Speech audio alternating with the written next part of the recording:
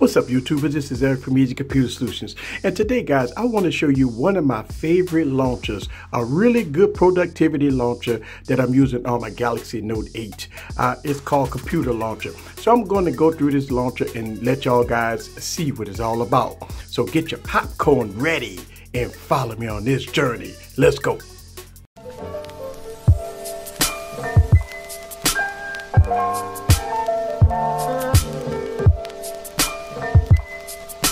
What's up guys, this is Eric again with another video. So one of my favorite launchers uh, in the App Store is Computer Launcher. And I'm gonna tell you that this is a different, unique launcher. Very fast, no bugs, no problems.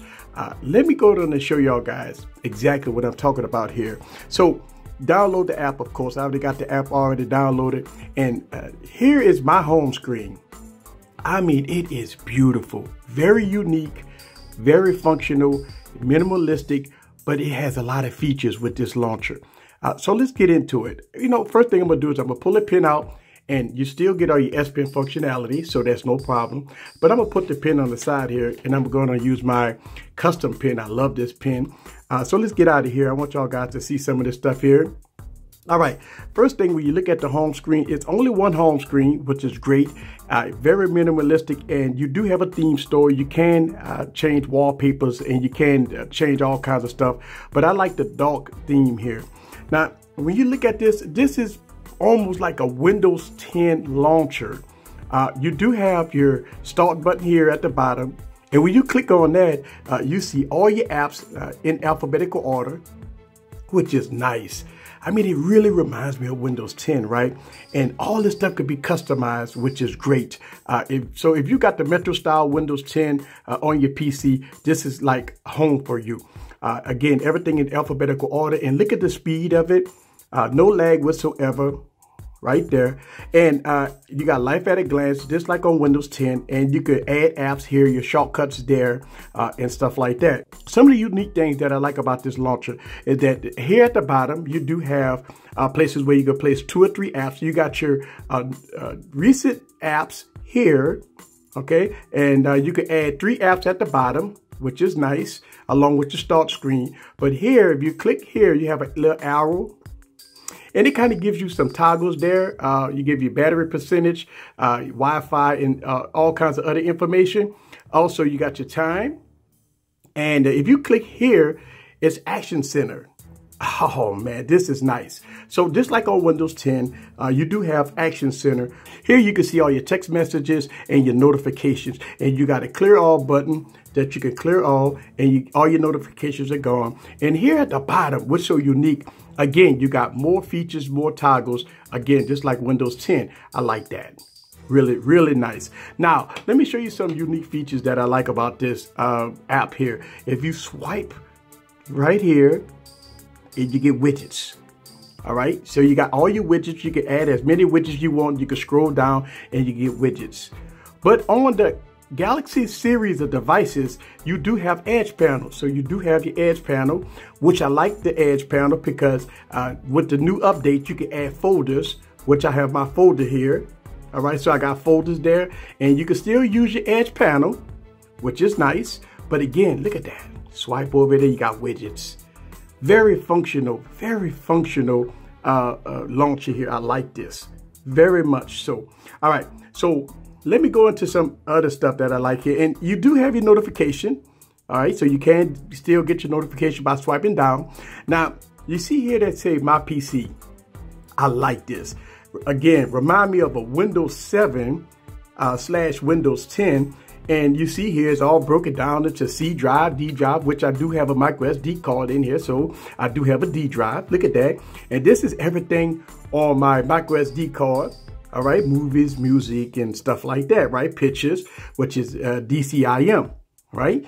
And uh, if I want to go to my C drive, and this is everything in my C drive, all my folders here in the C drive, which is nice. Very, very nice. And what's, what I like about this is that even though I hit the home button here at the home button, it don't work. You have to actually hit the X. Oh my goodness, look at that. So I hit the X at the top and it works good and flawless. You have all your apps here. Now, if you hard press here, all right? And you get your theme store, colors, wallpaper, desk icons. You could add a widget, you could create a folder, and you have more apps. So let me show y'all guys the theme store of this app right here. And this is some new stuff that they just posted here. And the most popular stuff here, you got your default Galaxy S9 wallpapers, uh, iOS 11 wallpapers, iPhone X wallpapers. These are themes and wallpapers that you can get, which is nice. Sci-fi and everything in between the sun. Look at that. And you got Windows 10. All right. And you can go to all and it's going to give you more themes to trick your phone out to make it look like your own, which is nice. Very nice. And as you can see, it is nice and fast, very fast and fluid. I like it. But I like this all dark theme with that uh, red stripe going up the top. So I like that. All the apps work very good, very well. Uh, some of the other functionality here, which I like, and when we go down to the start screen, and again, you got everything life at a glance. Uh, you can add apps. You can do everything here. Now, right here, the hamburger bar. If I hit that, it's going to give me more features, more functionality. You got start, search, got my name here because that's the name of my phone. You got File Explorer already built in here. Look at that. And you have settings, power. So if I hit settings, uh, this is going to give me the settings to the launcher. Look at that. One of the things that I do want to say about this launcher is about battery life. Right now, battery life is not greatly impacted, and uh, so I don't have any problem with battery life at this moment. Uh, I've been using it for a while now, and uh, no problems with battery life to report right now with uh, using the computer launcher. All right, so one of the questions you might have is how do I get my apps to the home screen? So let me go to show you. All you got to do is hit the start menu. And this say, for instance, I want to get my Amazon shopping right there. And I'm just going to hold and press it. All right, and you could do a few things here. You have a menu here. I could pin it to the start menu, which is this is my start menu. I could pin it to the taskbar right here at the bottom. I could pin it to the taskbar, or I can create a shortcut right here so once I create a shortcut, boom, it's on my home screen. Now, what if you want to get rid of an app, right? So again, just hold on to it. And now that's your grid. Right there, that's your grid. Now you can hit the little hamburger bar and it's gonna pull up a menu. You can open it, you can remove it, you can uninstall it, and you can look at the properties. So you just remove it and it's gone. Again, let me show you guys the menu there. Look at that. And you can uh, put all the apps you want here on your home screen. Nice and pretty, nice and easy. There you go. And that's it, guys. Computer launcher, right here, Eazy Computer Solutions, guys. If you have any questions, let me know down in the comments below. This is Eric from Eazy Computer Solutions. See you guys on the next video. Peace.